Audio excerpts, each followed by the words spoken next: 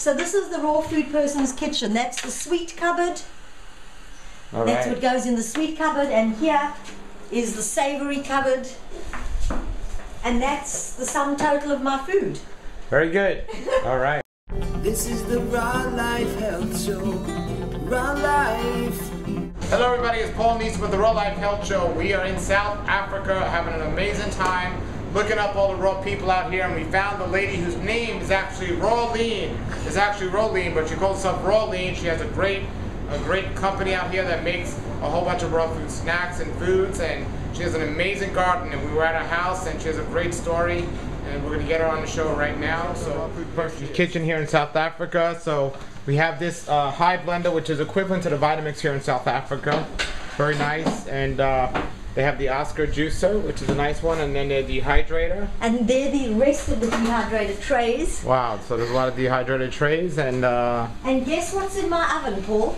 what's in your oven? Wow, storage, storage in the oven. Laptops, plugs, Laptops and in the cutlery. oven. Wow, very good, very good. That's great. And this is what goes on the stove. On the stove, but not cooking it, just for No. storage. Storage. Wow.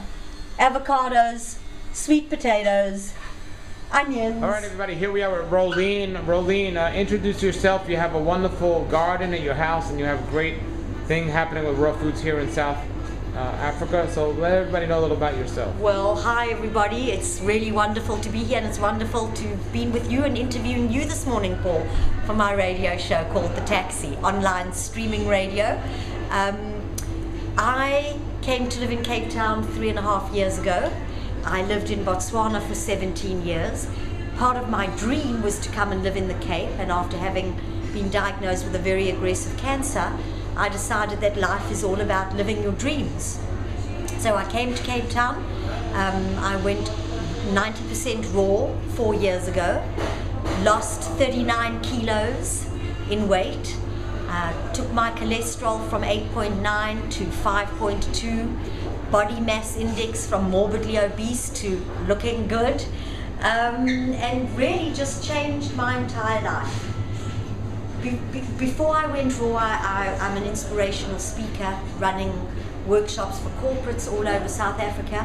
And then I started running raw food workshops because for me it was about sharing my passion and giving people an opportunity to learn what I'd learned and be supported on this raw journey. Well, tell everyone what the choices you were presented because you, you, you weren't living a healthy lifestyle and then you found out you had breast cancer. And tell everyone what you were telling me about uh, your situation with uh, the, the chemo, the radiation, the raw food, and so on. Okay, so the moment I got diagnosed, I absolutely decided that I wasn't going to go on chemo or radiation, but there was a lot of pressure from my family and I and I, I did it. So I did the chemotherapy and from the moment I started the chemo, I went raw. I drank a liter of green juice every single morning. No matter how I felt, no matter if I ate anything else that day, I put that liter of green juice down into my body.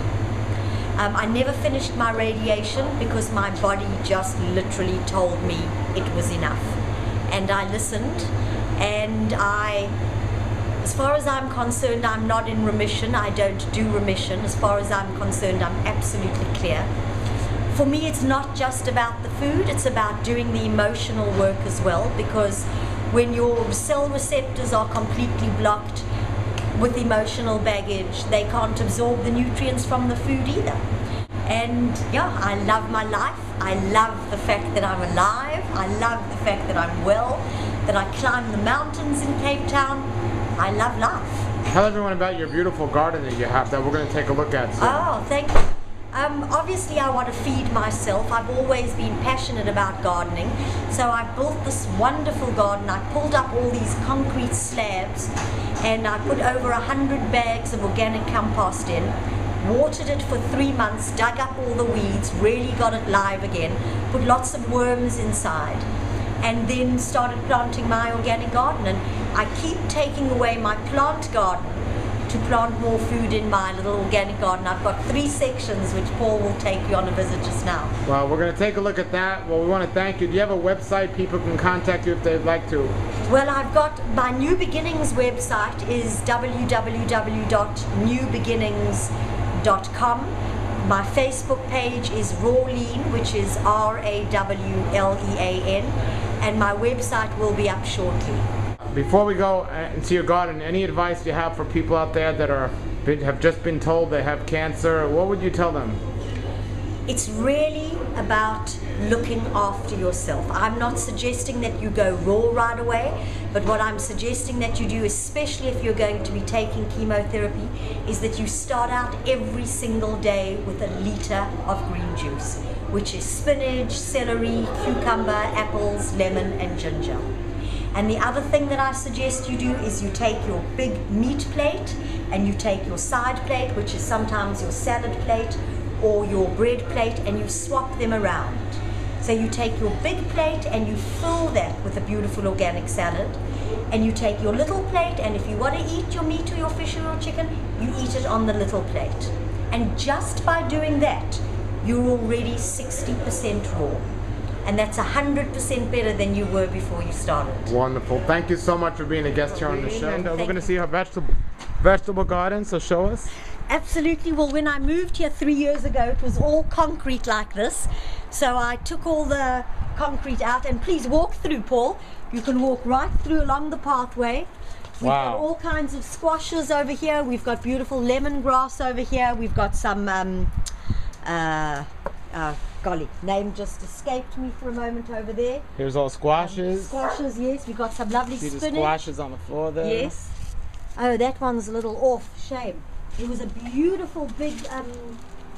um All these. And there's some cabbage there. growing right there. Right, there's cabbage over there, and then to the left, those are gooseberries.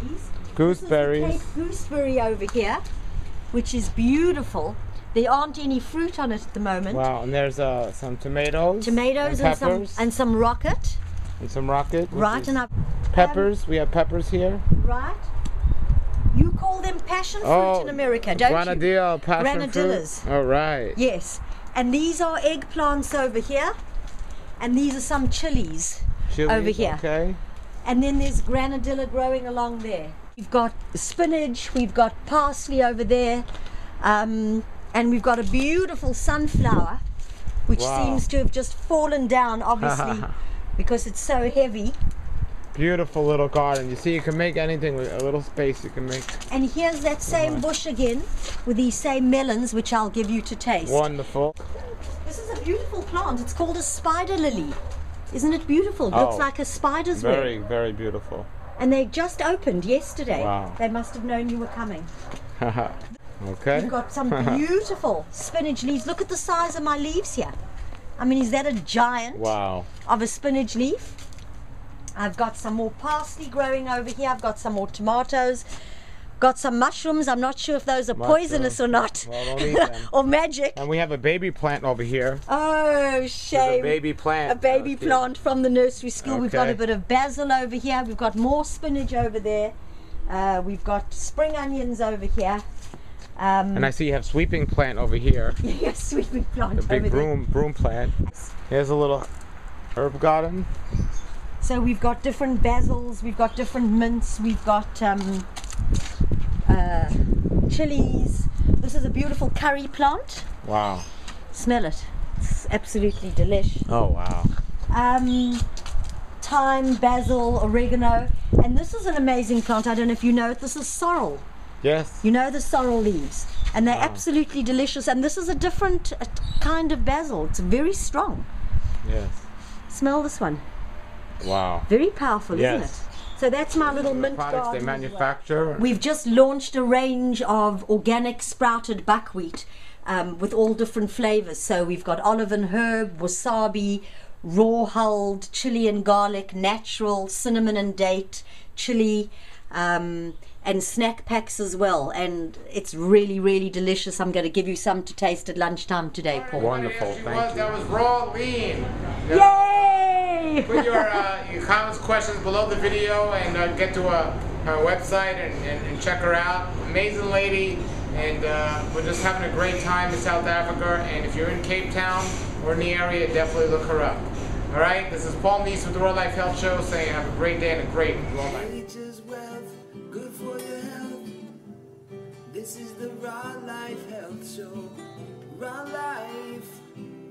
Brighten up your life.